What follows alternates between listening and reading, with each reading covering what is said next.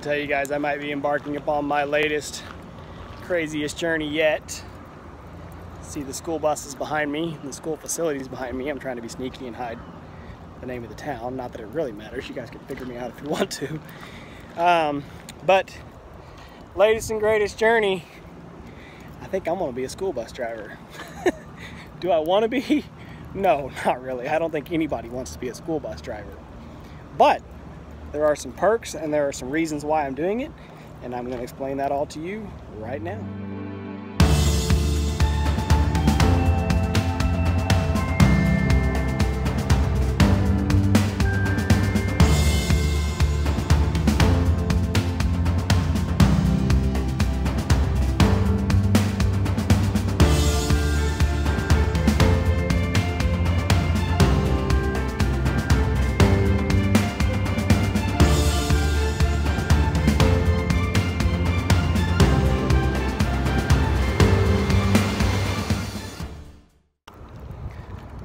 So why be a bus driver? Well, the first is obvious. Gotta have a job. And it's crazy to me, and seems probably crazy to a lot of people. I'm a petroleum engineer. I used to have a really good paying job, really good benefits, but you know what?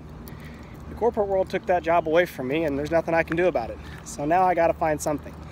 And the bus driver, as non-glamorous as it may seem, is basically a part-time job with full-time benefits.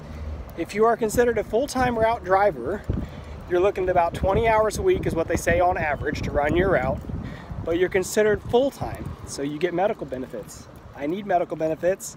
I have a family. We're paying for medical benefits right now. They're very, very expensive. Is the pay to be a bus driver great? Here, no. It's actually a problem with the district. They're losing drivers because other districts are paying more. But I'm not doing this as my primary job or to get rich. I'm really doing it mostly for the medical benefits actually.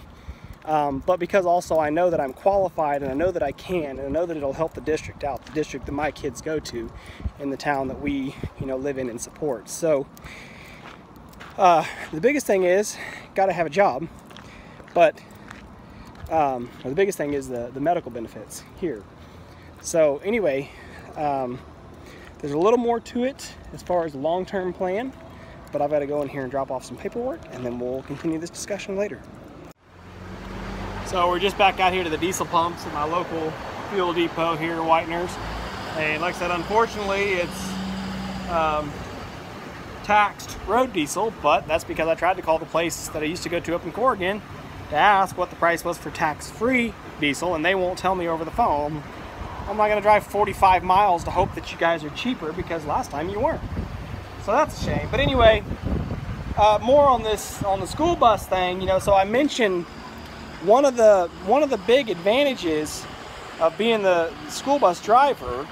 The pay isn't great, but it's the it's the scheduling. So yeah, you got to get up early in the morning. You got to go run the route for a couple hours, and you got to deal with screaming, annoying kids, whatever. But um, it's just for a couple hours in the morning, a couple hours in the afternoon. You know, if you want to pick up more jobs where you want to run for a field trip or you want to go, you know, take them to football games or band stuff, that's all additional stuff that you can pick up, but it's not really it's not really a requirement or an expectation that you have to do that stuff right away. So, you know, you can kind of tiptoe into it. You can actually tiptoe into it just to be a sub.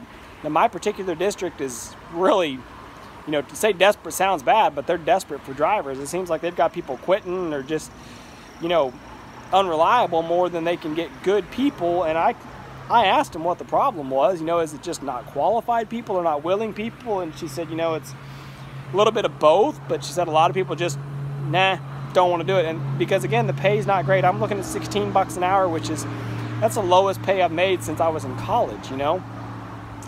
Um, but the real point is that it's four to five hours a day not eight hours a day, but I still get full-time treatment, full-time benefits, and I have the middle of the day and I have the evenings off. So the middle of the day I can still continue with my little, you know, farming ventures, whatever I want to try to do. Uh, you know, for example, if I want to get up in the morning and go run the bus route, and then heck, I'm home by, you know, 8 o'clock, before 8 a.m. And so I can jump right across the road, I can jump in the excavator, go work 8 to say, I don't know, 2, 2.30, something like that.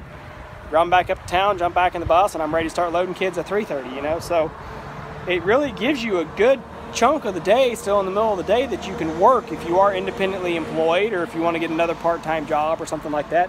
And it's a good, steady part-time job. You know, a lot of people have these part-time jobs where they're working restaurant or whatever it may be, and the hours bounce around all the time. Oh, well, this morning I got to open, and tomorrow I got to close, and the next day I got to be there halfway through the day.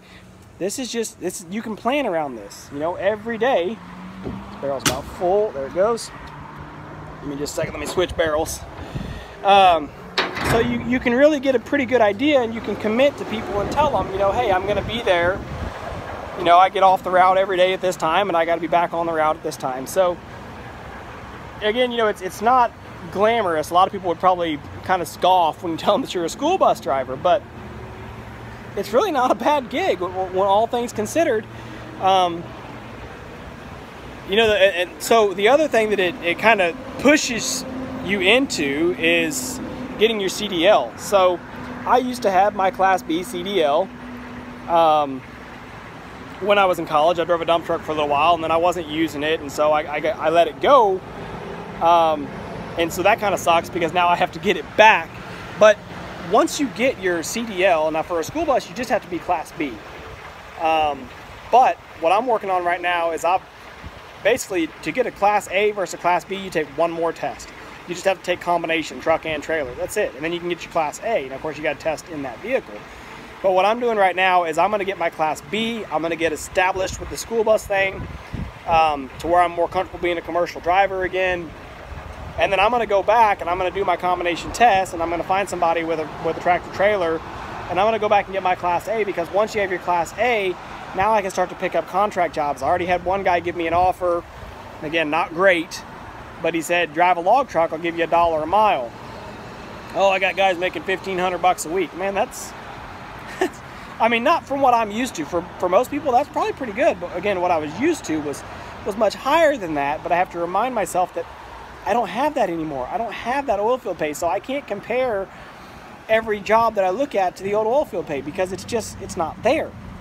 I have to go back to my baseline and say, what's my mortgage? What's my health insurance? What's my groceries? What is the absolute minimum that it takes to support my family? Okay, can that job do it?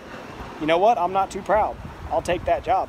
I actually put off the bus driver thing for a while because I didn't want to commit to it and get the school, you know, the, the the school system kind of counting on me and then pick up and go because I got another job. But the way the oil field's looking for me right now, it's not looking good. I've been applying for jobs. There's just not a lot out there. The oil field's kind of stale. It's kind of there, but it's not booming, you know. So anyway, I'm committed to it now.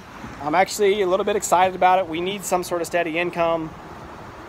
Um, you know, it's not a bad gig. So again, if you guys are qualified, if you're capable of getting a CDL and being a school bus driver. Obviously, there are some rules, you know, as far as drugs and alcohol and everything else, which just comes along with a CDL, but you also have to have a clean record. You can't be touching little kids.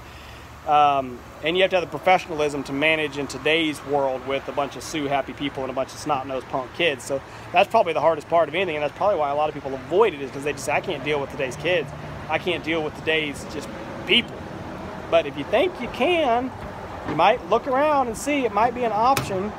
Um, so far it's cost me, I don't know, all in between the permit application and actually getting the license, fingerprints, all that sort of stuff. It's probably going to cost me, I don't know, 150 bucks. I honestly haven't even looked. It was $25 for the permit application. It's, I think it's like $40 to get my fingerprints. There's an $11 fee to actually go take the test.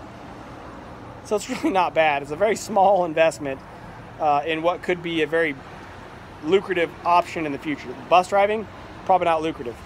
Um, but having your commercial driver's license could be very good because now you can go to drive for anyone on anything that you're qualified to drive in at least.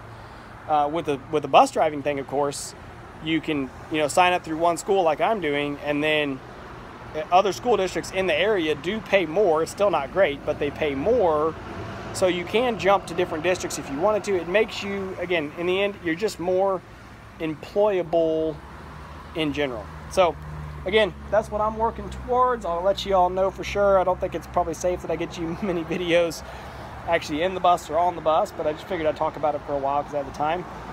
But with any luck, I'll be driving a bus here shortly. I've got to still get my license. I'm in my permit phase right now. Uh, 14 days minimum for the permit for training, and then I can go back and take the actual road test. And I'd imagine the I know the school district says they're desperate. I'd imagine they're going to start me like as a sub.